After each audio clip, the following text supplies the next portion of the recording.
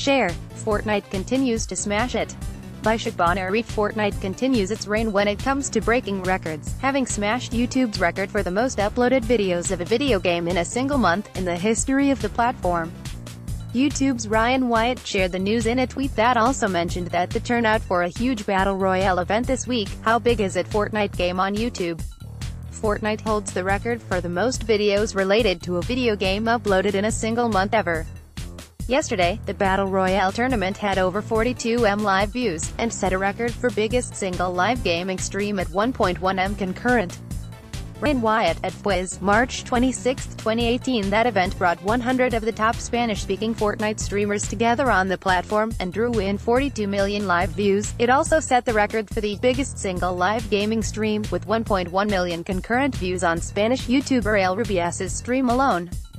If you missed it, you can catch up here.